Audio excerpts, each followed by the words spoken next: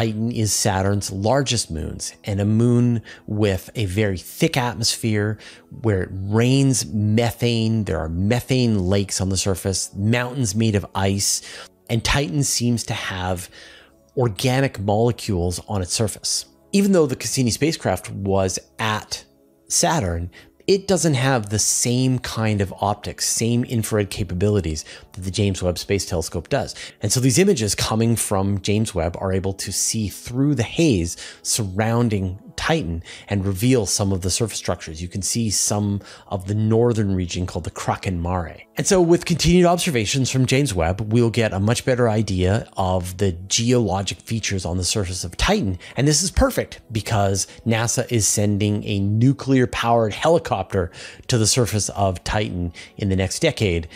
Now we'll know where to look.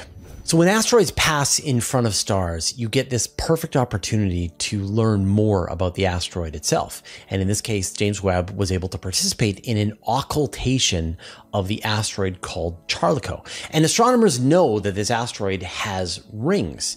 As the asteroid passed in front of the star, Webb was able to make really accurate measurements of the rings, to watch the dips in brightness as each one of the rings passed in front of the star.